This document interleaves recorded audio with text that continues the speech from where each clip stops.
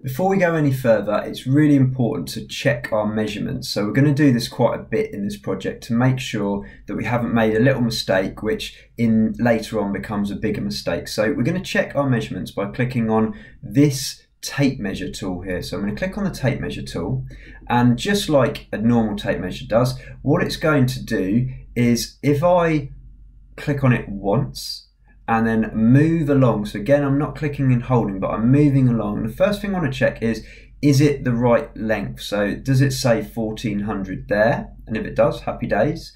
And then again, checking that way, and it says 1400. And to change my camera angle, zoom in a little bit, and I want to make sure it says 9. Now, if any of those numbers don't work, so let's imagine that it didn't say those, the quickest thing to do at this stage would be to triple click, delete, and go and draw it all again. So you can then follow my videos from previously, type in your 140 by 140, click enter, and then you can make it back up. I'm doing this really quickly, but if you need to see again, just watch the videos and make it back to nine millimeters.